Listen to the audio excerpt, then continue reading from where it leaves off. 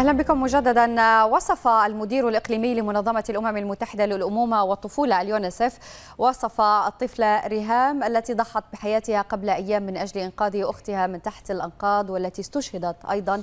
وصفها بالبطلة الصغيرة مطالبا باسمها وباسم ملايين الأطفال بإيقاف الهجمات وحماية الأطفال في سوريا. المزيد في التقرير ونعود للنقاش. بهاتين اليدين الصغيرتين. حاولت ريهام إنقاذ شقيقتيها روان وتقى من تحت الأنقاض. بعد أن قصف بيتهم بصاروخ لطيران ميليشيا أسد وتحول إلى ركام. وروت هذه الصورة الفادحة الأثر كيف كانت ريهام تحاول أن تمنع أختها من السقوط. نجحت ريهام في تحقيق أمنية قلبها الصغير إلا أنها ضحت بأغلى ما تملك من أجلهم وهي حياتها. ريهام التي أبكت كل من كان يراقب ما تقوم به من تضحية في سبيل أخواتها. لم تترك لأبيها في بادئ الأمر سوى القهر وقلة الحيلة أمام مشهد بناته التراجيدي قبل أن يسعى بكل ما يملك لإنقاذهم. إنها قصة بطلة صغيرة تلخص مشهدا جزئيا من صورة ما تزال تنزف دمعا ودما من محرقة ميليشيا أسد الطائفية والاحتلال الروسي بحق السوريين منذ أكثر من ثمان سنوات. المدير الإقليمي لمنظمة الأمم المتحدة للأمومة والطفولة اليونيسيف خيرت كابالاري قال في بيان له إن ريهام طفلة بطلة كانت في الخامسة من العمر لاقت حتفها بعد أن قامت بإنقاذ حياة أختها الرضيعة. وهي واحدة من عشرات آلاف الأطفال الذين قتلوا أو أصيبوا بإعاقات مدى الحياة خلال ما يقارب تسع سنوات. مطالبا في ختام بيانه باسم ريهام وملايين الأطفال في سوريا أوقفوا الهجمات وأحموا الأطفال وتجنبوا المزيد من سفك الدماء في سوريا. البيان الذي لم يشر إلى نظام الأسد والاحتلال الروسي الذين يقومون بهذه الهجمات. طرح سؤالا جوهريا من قبل كثيرين. كم من رهام يحتاج المجتمع الدولي والمنظمات الدولية لوقف هذه المجازر بحق أطفال سوريا؟ وهل ستحرك قصة الطفل السوري البطلة ضمير العالم والإنسانية أمام إجرام بشار الأسد وحلفائه؟ أم سيبقون شركاء في جريمة قتل أطفال سوريا كما يرويها هذا الرجل المسن الواقف عاجزا أمام هول مصاب السوريين؟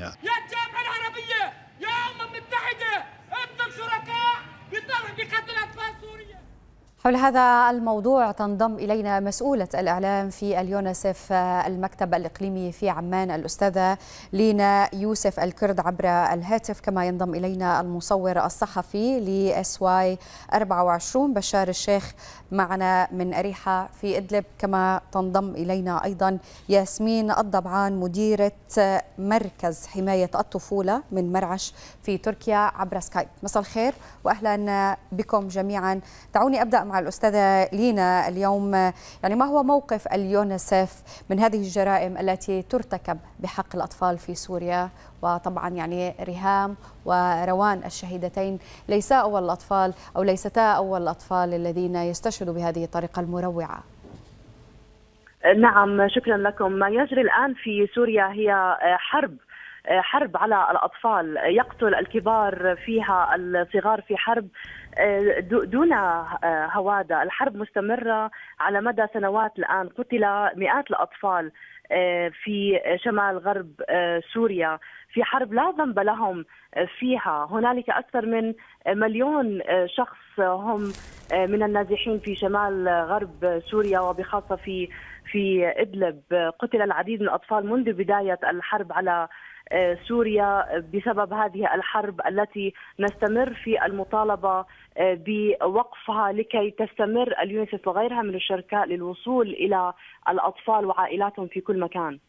نعم أستاذة لينا يعني الجرائم بحق الأطفال كما ذكرت حضرتك هي مستمرة منذ بداية الثورة السورية إلى هذه الساعة يعني هناك من يرى أنه استهداف مباشر للأطفال باستهداف المدارس والمراكز الطبية وما إلى ذلك ما الذي قدمته اليونسف وما الذي عجزت عن تقديمه؟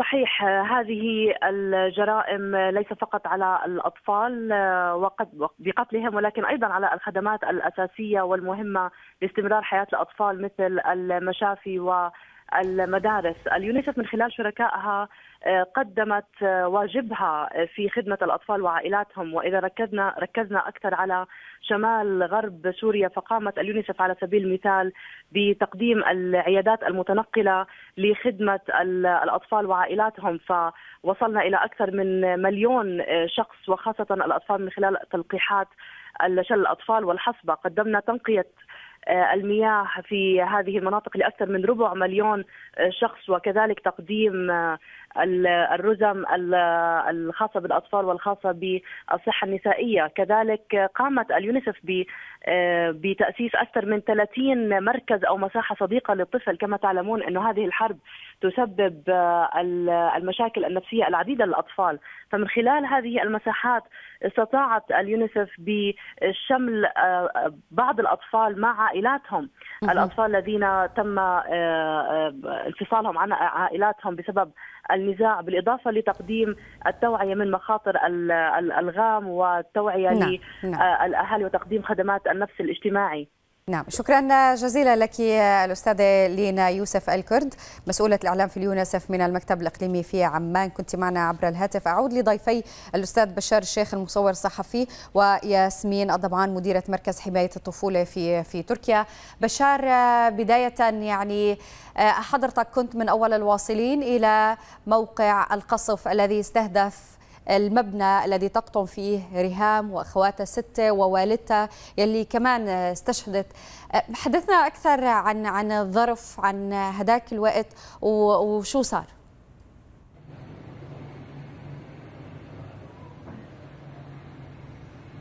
نعم مساء الخير لكم وللمشاهدين وضيوف الكرام.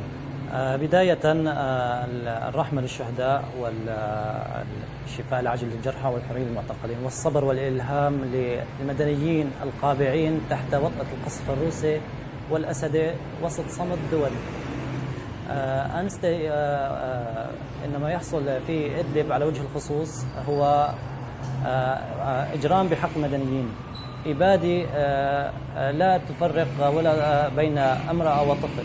لا تفرق بين مسجد وسوق شعبي لا تفرق بين مدرسة لا تفرق بين حي سكني. صحيح. طيب آه، بشار حضرتك المبنى يلي آه، آه، تم استهدافه في أريحة وكانت تقطن فيه ريهام وروان وأخواتهم كمان ووالدتهم. كنت حضرتك أول الواصلين له حدثنا أكثر عن هذه الحادثة تحديداً.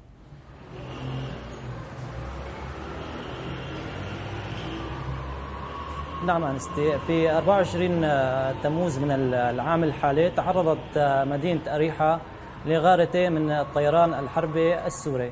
آه، فالغارة الأولى نتج عنها استشهاد امرأة وطفلها وبالإضافة إلى جرحى. أما في الغارة الثانية فقد كانت في فارق زمني بسيط.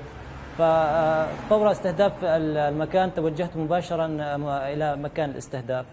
فوثقت بطبيعتي مثل باقي الزملاء الإعلاميين أي انتهاك بحق المدنيين من قبل الإجرام الروسي والأسدي. فبلحظة توثيقي لهذا الاستهداف لفت نظري الطفلتين العلاقتين بين الأنقاض. والشخص القريب منهم آه، لا يبعد عنهم سوى متر واحد.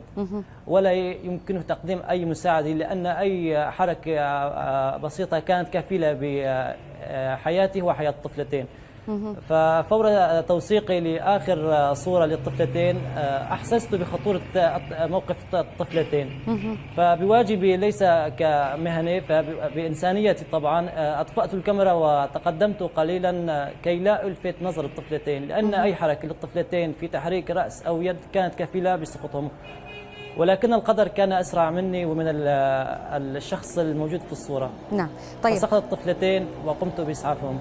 طيب بشار يعني اليوم مثل مثل ما بنعرف إنه آه، استشهدوا ريهام وروان ووالدتهم ما هو مصير الوالد والأخوات الأربعة يعني المتبقيات بعد بعد هذه الحادثة وخصوصا يعني إنه آه، آه، تم استهداف المبنى الذي تقطن فيه هذه العائلة.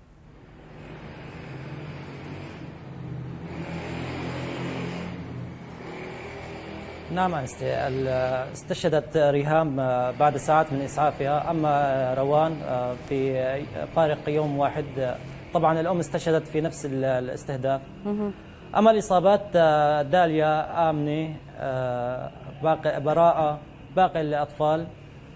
أما تقى الطفلة ذات السبعة شهور فهي الآن بصحة جيدة والحمد لله. طيب. أستاذة ياسمين بداية مساء الخير. يعني كنا عم نتحدث مع الأستاذة لينا وعم نتحدث مع بشار عن الاستهداف الممنهج للأطفال. الأستاذة لينا يعني حكت عن دور اليونسيف مشكورين ولكن هذا الدور يعني لم يتمكن من إيقاف القصف الذي يستهدف المدنيين والأطفال في سوريا. ما الذي تستطيع تقديمه منظمات صغيرة مثل مثلا مركز حماية الطفولة لحماية الأطفال؟ هلا نحن الشيء اللي بنحسن نقدمه هي مجهود شخصي اللي هو مثلا نحن المركز اللي بيشتغل فيه هو مركز خاص بالأطفال حماية الأطفال المعرضين للخطر الأطفال اللي أطفال العمالي أطفال الأول الاطفال اللي آه، عم بيتم استغلالهم. طبعا هو تقريبا نفس الشيء اللي عم بيصير بسوريا بس بطريقة ثانية. يعني صحيح إنه في تركيا بس الفقر الحالة الاجتماعية السيئه الأطفال اللي هن عندهم إعاقات بنحاول نحن نكون جسر لهم نجسر بينهم وبين المنظمات. طبعا آه، بالنسبة للمنظمات الموجودة بتوقع فقط هي اللي عم تقدم شيء ممحوظ آه، بالنسبة للجمعيات. بس بالنسبة لموضوع الجمعيات أو المنظمات الكبيرة ابدا وضعهم يعني في كثير كثير أطفال هلأ موجودين على الإشارات معرضين للخطر معرضين إنه يضربوا من سيارة متعرضين إنه تجار تجار الأعضاء آه، يعني يتعدوا عليهم. في يعني كثير قسم كبير كبير من الأطفال وما في بصراحة أي أي جهة هون ممكن تساعدهم. نعم. يعني ياسمين طبعا يجدر الذكر إنه هؤلاء الأطفال وصلوا من سوريا. يعني هم آه، متواجدين في تركيا ولكن وصلوا آه، من سوريا وخلال رحلة النزوح مع أهاليهم. والبعض كما نعلم جميعا يعني وصلوا حتى بدون أهاليهم. آه، تفضل. ما تتخيلي ما في أي موضوع ما تتخيلي إنه بس طفل ماسك علبة محارم واقف في الشارع. في بكل لحظة ممكن يتعرض هذا الطفل لحتى يعني ممكن يموت بأي لحظة. سيارة تجار أعضاء. في عندنا موضوع تجنيد الأطفال. عم بيوصل عنا لهون طيب ياسمين يعني اليوم اليونسف من الممكن إنه هي ما تقدر تقدم كثير للأطفال المتواجدين داخل آه، سوريا ولكن هل هي قادرة على تقديم آه، مساعدة ما للأطفال المتواجدين في الخارج مثل تركيا مثلا؟ طبعا طبعا. يا ريت تحسن تقدم. هاي الظاهرة كثير منتشره بالنسبة لنا بالنسبة للأطفال المعرضين للخطر الموجودين في تركيا. هلأ كسوريا آه، أنا بما إني في تركيا ما بحسن أنا آه، اجزم على الأطفال. الوضع الحماية للأطفال بوقت القصف هذا شيء ننتهي منه. يعني حتى لو ساعدت هي رح تساعد بضماد بس أما الحل بسوريا إنه يوقف القصف تماما. نعم. بس أما بتركيا آه، الوضع بيختلف تماما. الوضع إنه في يعني في قسم كثير كبير من الأطفال هن ما عم بي ما عم بيوصل لهم تعليم هن أميين تماما. وما في اهتمام صراحة حتى من الدولة بهي القصة. نعم. شكرا جزيلا لك ياسمين الضبعان مديرة مركز حماية الطفولة من مرعش في تركيا. الشكر أيضا للمصور الصحفي بشار الشيخ كان معنا من أريحة في إدلب شكرا لكم مشاهدينا بهذا نصل إلى ختام حلقة يوم هنا سوريا. أعود وألقاكم غدا بإذن الله.